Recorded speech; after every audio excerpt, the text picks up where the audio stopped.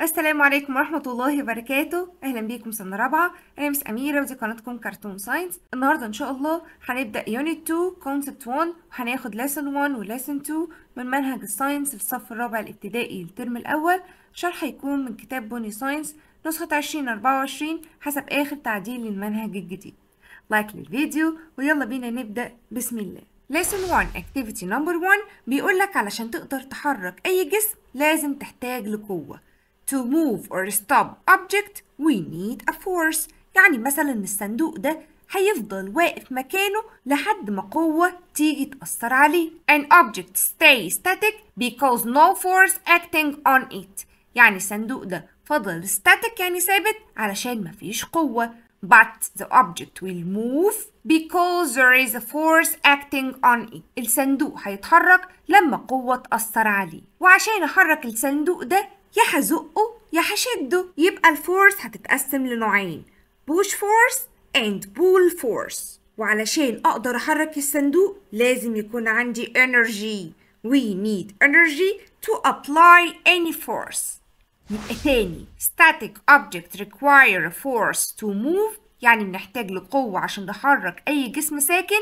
And force could be pushing or pulling force. أنواع ال force نوعين. pushing force pulling force. طيب يا Miss أنا عايز أعرف الفرق بين ال push force وال pull force أول حاجة هنبدأ بال pull force pull force يعني كأنك بتشد الجسم ناحيتك. example pull the suitcase pull a toy car. لكن ال push force كأنك بتبعد الجسم عنك. هش هش هش ابعد يا object. push force. Such as push a wheelbarrow or kick the ball. وهندرس دلوقتي أمثلة كتير عن ال pull force وال push force بس دلوقتي عايزاك تحفظ إن ال pull force أنت بتشد الجسم ناحيتك وال push force ش ش بتبعد الجسم عنك. Example number 1 ومعانا صورة ولد بيعمل kick لل ball بيشوط الكورة. لما يشوط الكورة يبقى بيبعد الكورة عنه يبقى دي push force. The player need energy to push the ball. و example number 2 معانا ولد بيعمل pull لل bag بيسحب ال bag بيقرب ال bag منه طالما بيقربها من جسمه يبقى دي بتعتبر pull force. The boy need energy to pull the bag. يبقى عشان نعمل أي force سواء كانت push force أو pull force we need energy. واتفقنا عشان الصندوق ده يتحرك لازم أثر عليه بقوة يا أزقه يا أشده An object move when a pushing or a pulling force acting on it. الجسم بيتحرك لو أثرت عليه بقوة سواء إن أنت شديت ال object أو زقيته. وال object مش هيتحرك طالما مفيش قوة أثرت عليه. An object doesn't move when no force acts on it. يعني الكرة دي ثابتة في مكانها والصندوق هيفضل ثابت في مكانه طالما أنا ما أثرتش عليه بقوة. ودلوقتي حبايبي الحلوين يقولوا لي أول صورة دي push force ولا pull force الولد ده بيزق العربية بيبعدها عن جسمه. ش ش ش يبقى ده نوع إيه؟ push force ممتاز. لكن picture number 2 الولد بيشد العربية ليه بيقربها منه. يبقى دي إيه؟ pull force طيب picture number 3 الولد بيفتح باب التلاجة بيشده ناحيته يبقى دي pull force و picture number 4 الولد بيعمل kick لل ball بيزق ال ball بعيد عنه. اكتبوا لي في ال comments when boy kicks the ball it considered push force or pull force. ودلوقتي هنبدأ activity number 2 اللي بيعمل فيها مقارنة بين ال truck العادية وال jet airplane بيسألك ويقولك مين الأسرع ال truck ولا ال jet airplane طبعا jet airplane is much faster than truck. طب ليه الطيارة أسرع؟ علشان عندها محرك أقوى من المحرك بتاع ال truck. Because jet engine is most powerful than truck engine. تاني Miss because jet engine المحرك بتاع الطيارة more powerful than truck engine. أقوى من المحرك بتاع ال truck.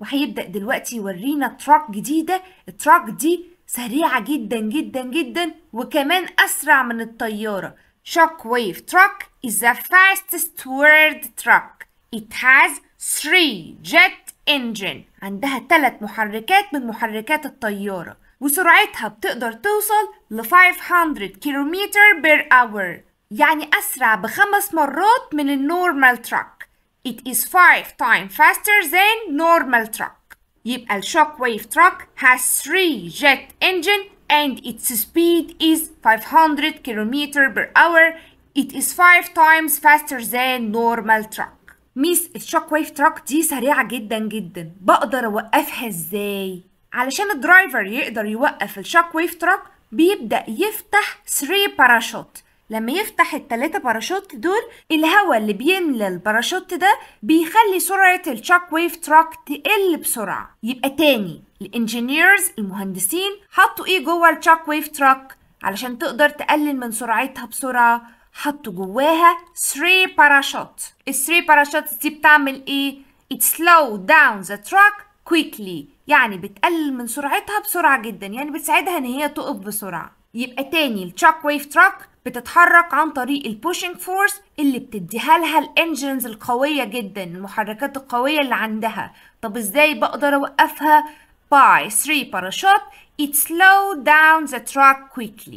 والعلماء هنا قعدوا يفكروا إيه ده؟ هو الهواء ممكن يقلل من سرعة ال truck wave truck يبقى الهواء ده عنده قوة.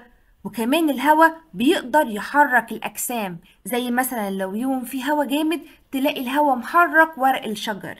يبقى الهواء عنده force air force. It can move some object such as leaves of tree. وبعدين قعدوا يفكروا إزاي يقدروا يستخدموا قوة الهواء. فبدأوا يبصوا لل fire extinguisher طفاية الحريق. فلقوا إن هي بتحرك الهواء.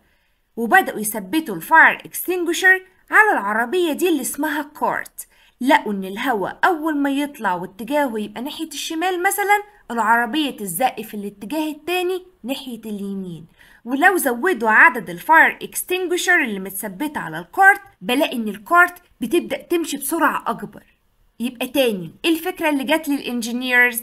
قالوا إن هم هيثبتوا fire extinguisher on static cart هيثبتوها على العربية ثابتة.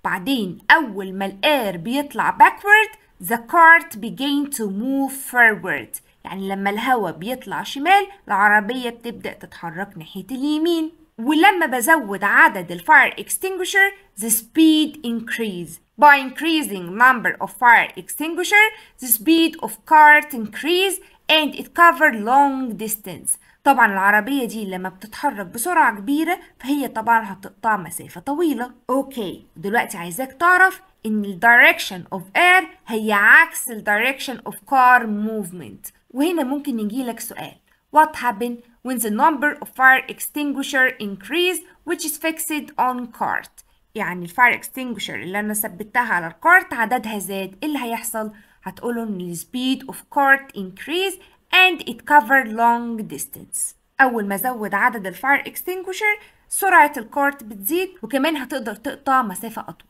وبكده أكون خلصت lesson 1 يلا بينا بسرعة نبدأ lesson 2 بس من فضلك لو مش عامل like للفيديو please press like عشان الفيديو يوصل لكل أصحابنا. lesson 2 بيعتبر تكملة ل lesson 1 activity number 4 برضو بيكلمنا عن ال pulling force وال pushing force. وزي ما اتفقنا إن ال pull force أنت بتقرب الجسم ليك. It's force to move an object towards you. بتشد ال object اتجاهك. But pushing force is a force used to move object away from you. يعني بتزق ال object بعيد عنك. ودلوقتي هيبدأ يكلمنا عن نوعين من ال force balanced force and unbalanced force. وهيبدأ يشرحها لنا بمثال لعبة جميلة اسمها tug of war. هنبدأ بالصورة الأولانية. هنا في تلات ولاد والناحية التانية في تلات ولاد. بيبدأوا يشدوا الحبل ده. طالما القوتين قد بعض الحبل مش هيتحرك ودي هنسميها balanced force. When the force is acting on rope is balanced the rope doesn't move. يعني لما يتأثر على الحبل بقوة متزنة الحبل مش بيتحرك. أوكي تعال نشوف المثال التاني. المثال التاني حطينا في اتجاه معين قوة أكبر. يعني بصوا هنا في تلاتة بيشدوا قصاد اتنين. فين القوة الأكبر؟ هي دي القوة الأكبر. فالحبل هيبدأ يتحرك اتجاه القوة الأكبر. والقوة دي هنسميها unbalanced force يعني قوة غير متزنة. والقوة الغير متزنة دي بيجي نتيجتها حركة اتجاه القوة الأكبر. When the forces acted on rope are unbalanced لما القوة بتبقى غير متزنة the rope will move toward greater force. يعني الحبل هيتحرك اتجاه القوة الكبيرة. والأجزاء دي دايما بتيجي في الكومبليت وصح وغلط.